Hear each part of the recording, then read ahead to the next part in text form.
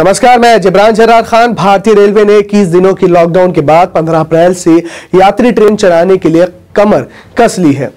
News agency PTI के मुताबिक railway ने ट्रेन सर्विसेज़ शुरू करने के लिए तैयारी शुरू कर दी है। आईआरसीटीसी की वेबसाइट खुली हुई है, जहाँ से यात्री 21 दिन का लॉकडाउन खत्म होने के बाद 15 अप्रैल या उससे बाद का रेल टिकट एडवांस में बुक करा सकते हैं।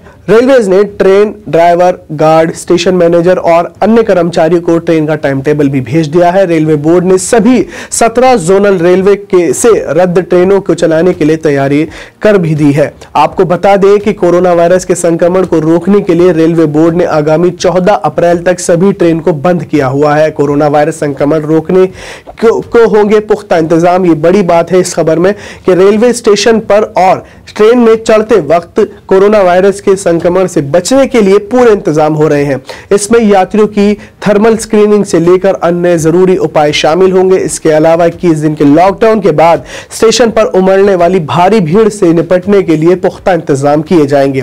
कोरोना वायरस के बढ़ते संक्रमण को देखते हुए प्रधानमंत्री नरेंद्र मोदी ने लॉकडाउन का ऐलान किया था। देश भर में यह लॉकडाउन चौदह अप्रैल तक लागू है।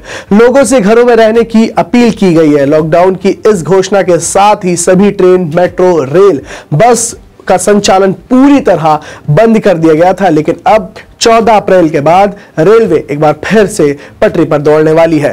फ़िलहाल ये वीडियो आपको कैसी लगी, नीचे कमेंट सेक्शन में मैं ज़रूर कमेंट करके बताइए। साथ ही साथ हमारे चैनल को सब्सक्राइब करना ना भूलें और ये वीडियो अगर आप फेसबुक पर देख रहे हैं तो हमारे पेज को लाइक करना ना भूलें। Thanks for watching Punjab Kesari dot com.